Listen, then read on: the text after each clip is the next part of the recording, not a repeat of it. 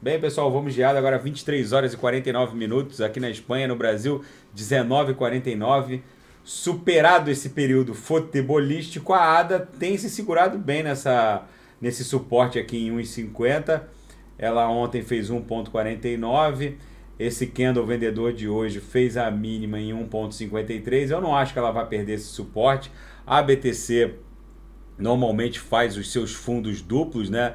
Já deu duas agulhadas para a região de 53.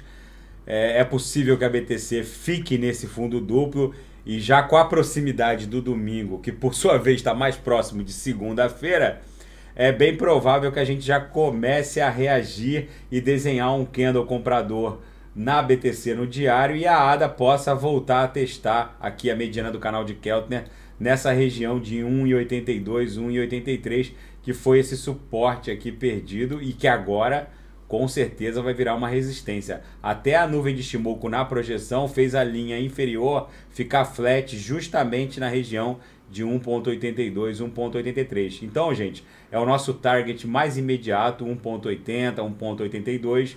Se superar, a gente vai tentar encarar a nuvem de Shimoku de baixo para cima. Daqui a pouco eu volto com BTC, não é mais fim de tarde aí no Brasil, já aí no Brasil já é ou quase 8 da noite. Daqui a pouco eu volto com BTC que está acumulando e no, na, na esteira desse esgotamento do fim de semana é bem provável que ela consiga retornar para testar a mediana do canal de Keltner. Já já eu analiso a BTC. Até mais, até daqui a pouco.